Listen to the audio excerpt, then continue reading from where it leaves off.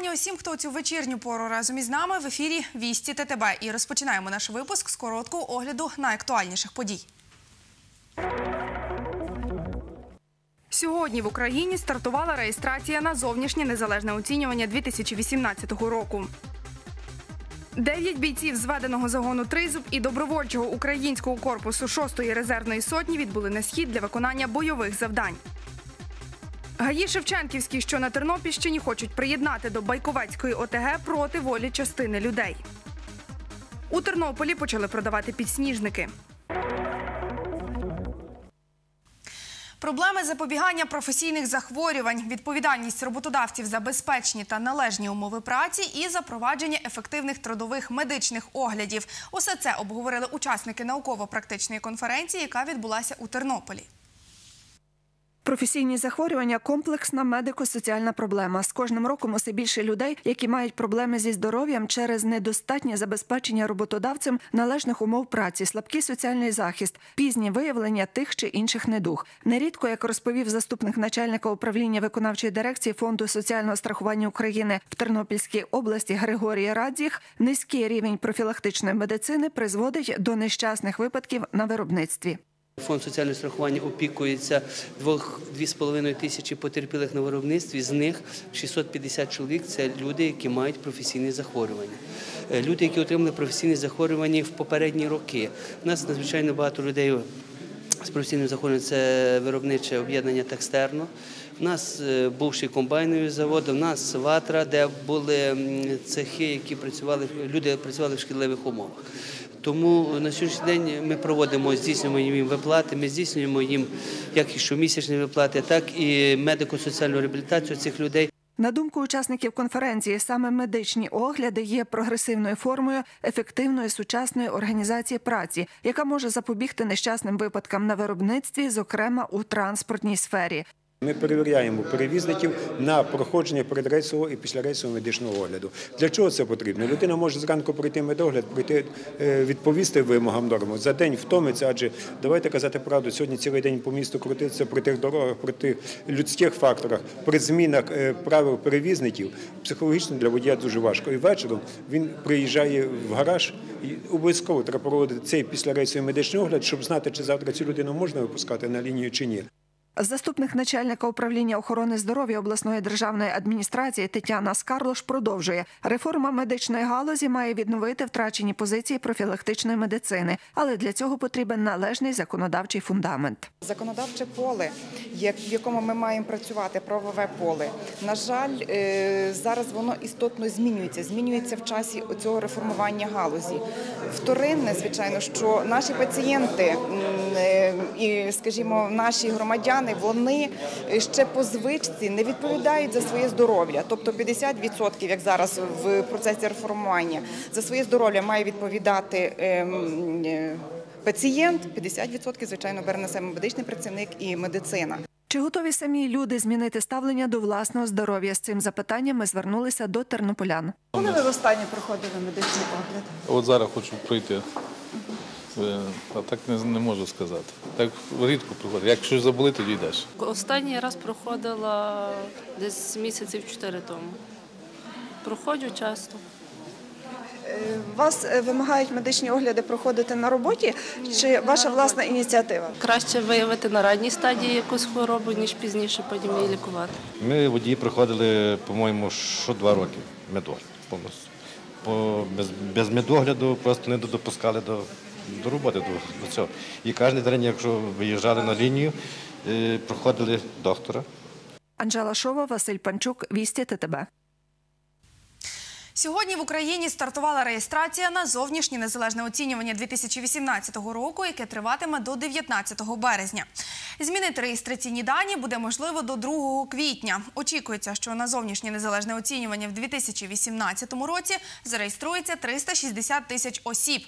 Основна сесія ЗНО відбудеться з 22 травня по 13 червня, додаткова з 2 до 11 липня. Як і в попередні роки, абітурієнт може вибрати не більше чотирьох навчальних предметів, повідомляють в Українському центрі оцінювання якості освіти. Дев'ять бійців зведеного загону Тризуб і добровольчого українського корпусу 6-ї резервної сотні відбули на схід для виконання бойових завдань. Добровольців проведжали рідні та близькі, товариші й знайомі, а також священники. Детальніше в сюжеті Богдана Буденчука. Тернополянка Надія прийшла провести свого сина Олега. Мати каже, що хвилюється, але з розумінням ставиться до його вибору. Е, Ставлюся в даний момент дуже позитивно. Зразу переймали такий страх, невпевненість. А тепер бачу, що потрібні такі діти, як він, потрібні такі люди. Пишаюся своїм сином, горджуся, горджуся побратимами його. І в свою чергу ми будемо молитися, будемо чекати. Їм можемо побажати тільки е, приїхати з перемогою е, ангела-охоронця. І такі, як вони, я вірю, що такі, як наші хлопці, наші діти, е, перемога за нами. 24-річний Олег одразу після революції гідності вирішив стати добровольцем. До того працював телеоператором. каже, що на сході найважливіше відчувати підтримку побратимів і знати, що тебе чекають рідні та друзі. У мене з дитинства воно е, якось так. Тобто я із 13 років е, перед Майданом вже був на Майдані, коли готувалися, об'єднували хлопців, е, об'єднували ми патріотичні організації, яке з одне ціле, що було разом. Тобто, потім Майдан почався. Після Майдану переїхали хлопці всі на фронт. На фронті сформувався добровольчий український корпус. І, в принципі, це моє життя. Що для мене слово доброволець. Це в першу чергу це для мене людина, взагалі, яка щиро ставиться до людей, яка вона готова добровільно допомогти пожертвувати будь-чим, тобто навіть сорочку якусь останню віддати чи прикрити десь. Бійці перебуватимуть в зоні АТО близько місяця. Наймолодшому добровольцю, який відправився на схід 24 роки, а найстаршому 48. Керівник обласного штабу правого сектору Назар Сарабун каже, що всі бійці пройшли підготовку. Дев'ять чоловік повноцінний бойовий підрозділ, який може автономно функціонувати чи виконувати якісь завдання. Це ротація. Тобто зараз е, знаходиться частина наших хлопців, та відповідно інші мають змогу поїхати додому і вони їх замінюють. У нас всі бійці вже давно давним підготовлені, тобто війна вже 4 роки. Відповідно, в нас майже не залишилося людей, які не брали участь в війні. Фактично всі мають бойовий досвід. Ротації добровольців з Тернопільщини відбуваються щомісяці. Богдан Буденчук, Андрій Прокопів, Вісті ТТБ. Село на Тернопільщині приєднують до об'єднаної територіальної громади проти волі частини людей. На це скаржаться деякі жителі гаїв Шевченківських Тернопільського району. Вони протестують проти об'єднання із Байковецькою громадою. Кажуть, опитування населення щодо вступу у громаду сфальсифікували. Подробиці в сюжеті. У яку громаду вступити у гаях Шевченківських обирають майже два роки. Розглядали Тернопільську, Байковецьку та Великоглибочецьку. У селі провели письмове опитування, за результатами якого депутати прийняли рішення приєднатись до Байковецької громади. Однак люди, які до нас звернулись, переконані, голосування було нечесним. допущені е, грубі порушення. Серед них одним підписом розписано всі члени е, сім'ї. Раз. Друге, е, е, різна форма опитування. Значить, е, 13 чи 12 округів проведено за, одним, е, за одною формою, один цілий округ, зовсім е, інша форма опитування. Повинна бути єдина. Е, Далі були е, особи, які за кордоном. За них хтось поставив підпис. Е, Були писали заяви жителі, які проживають і не зареєстровані в гаях Шевченківських. Аби підтвердити свої підозри, люди провели власне опитування. Кажуть, більшість обрали Тернопіль. Тому ініціативна група жителів села звернулась до сільської ради із вимогою провести ще одне голосування. Місцева влада ж на зустріч людям не пішла. Ми е, збираємо не один раз збори. Перший раз ми збирали в грудні по питанню приєднання. І коли ми не побачили адекватної реакції від наших депутатів, від нашого голови, ми вирішили зібратися 4, е, 4 лютого е, знову. Значить, е, депутати наші і голова ці збори проігнорували. Незгодні жителі Гаїв здаватись не збираються. Член ініціативної групи Галина Гаряча переконана, що у Байковецькій громаді у них перспектив мало, адже більшість населення працює в обласному центрі, а діти ходять у тернопільські школи і садочки.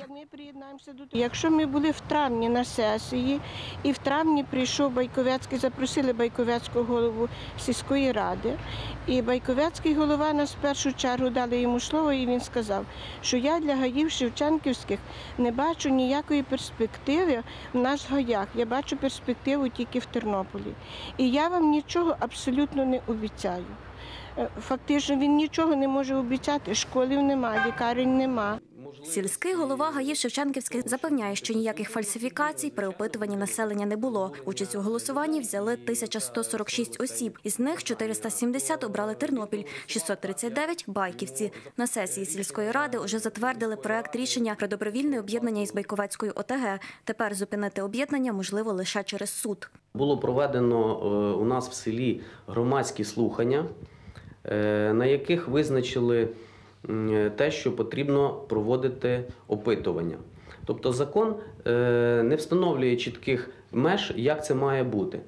Е, е, Закону про референдум е, не існує місцевий. Є закон про референдум загальнонаціональний, а про місцевий референдум немає закону. Лише суд може е, відмінити якісь рішення, якісь нормативні акти, які були прийняті тою чи іншою територіальною громадою.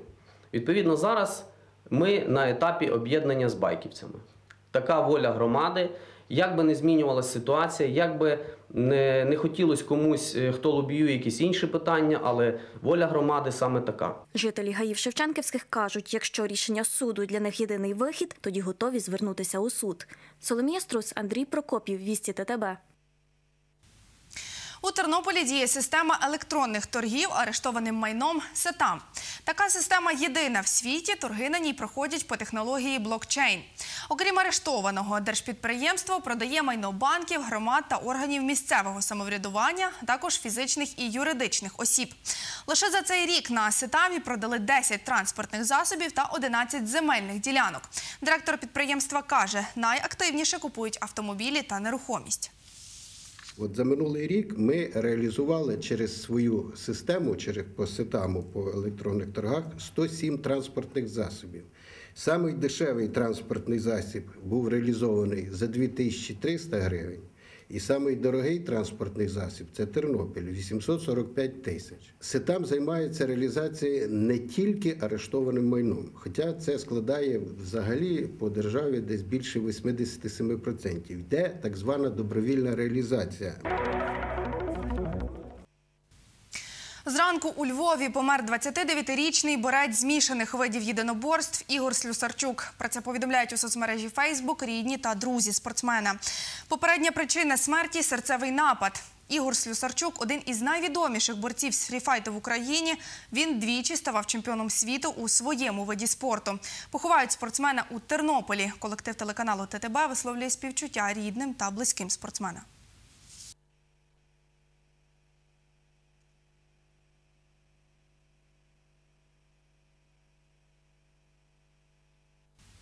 У Тернополі почали продавати підсніжники. Вартість букетика коливається від 20 до 25 гривень.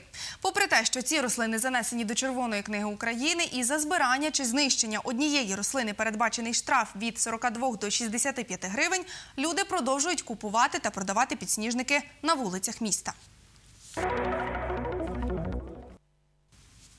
У Бережанах, готуючись до свята зими, місцевий скульптор Ігор Крук провів безкоштовний майстер-клас зліплення снігових фігур. Таким чином, центр міста поповнився сніговим собакою і мініатюрою ратуші. Саме ж свято зими у Бережанах проведуть на вихідних. І 14 лютого відділи радців працюватимуть з 8 ранку до опівночі. Спеціальну послугу закоханим запропонує у День Святого Валентина Міністерство юстиції. Протягом 16 годин охочі зможуть подати заяву та зареєструвати шлюб. Акцію кохання поза часом проведуть у Тернополі, а також Зборові, Шумську та Монастириську. Про це повідомляє Ольга Дяченко, заступник начальника головного територіального управління юстиції в Тернопільській області. Закохані пари, які бажають подати заяву про одруження або провести урочисті заручини, Е, Всіх запрошуємо у ці відділи для відповідної, для відповідної процедури. Крім того, ті, які вже подали заяви, буде проведено державна реєстрація шлюбу, також в тематиці Дня закоханих. Також запрошуємо тих осіб, які 14 лютого вже були одружені для проведення ювілейного весілля.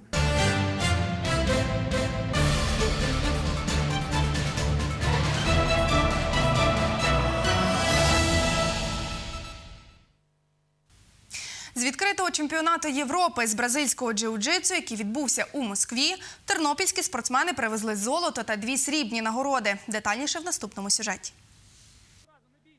На відкритому чемпіонаті Європи з бразильського джиу-джитсу Тернопільщину представили троє спортсменів. У турнірі, який тривав 3-4 лютого, взяли участь більше ніж тисяча спортсменів з 26 країн світу. Золоту нагороду у категорії юніори до 69 кілограмів вдалося вибороти Іллі Гасюку. Хлопець каже, перемога давалася нелегко. Щоб здобути її, довелося подолати чимало суперників. Доводилось зустрічати з хлопцями з Росії, Азербайджану, Казахстану, ну, більшості ті країни.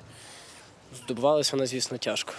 Мав пару поєдинків, після яких вих- виходив і просто ноги тряслись. Але здобув. Сергій Кіналь у категорії до 69 кілограмів та Алла Кушнір у категорії до 49 вибороли срібні нагороди. У мене було приблизно 22 учасника в категорії. Е, Я відборовся 5 сутичок, з яких ну, в фіналі чуть-чуть мені бракнуло досвіду. Ну нічого, я над цим буду працювати і в майбутньому будемо займати тільки золото. А Треба трошки попрацювати, вдосконалити свою техніку, були деякі помилки в фіналі, і це мені трошки помішало. Які саме помилки? Е, Саме вихід з больових. Це мені трошки не, не вийшло.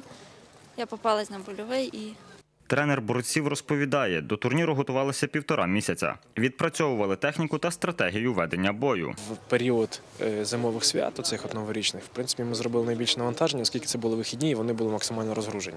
Ну, Відповідно, в цей період ми тренувалися по три рази на тиждень, ой, точніше, по три рази на день. І, е, в принципі, це був такий. У нас, по суті, зимових свят не було. Саме найважчий період у нас якраз припав на Різдво і на Новий рік. Ми під кожного спортсмена е, підібрали конкретно так, ну тобто індивідуальну техніку, тактику безпосередньо. Е, Враховуючи їхні індивідуальні якості, е, розробили техніку, тактику, з якою вони мали з готовим планом виходили на татамі. В принципі, е, в кожному з них практично завжди вийшло реалізувати заплановану стратегію, і це нам принесло успіх. Зараз спортсмени матимуть короткочасний відпочинок, після якого розпочнуть підготовку до чемпіонату світу, який відбудеться в Абу-Дабі у квітні. Тарас Бурак, Василь Панчук, Вісті ТТБ. І на сьогодні у мене все. Попереду нехай нас чекають лише хороші новини. Наразі мирного усім вечора і до зустрічі тут уже завтра.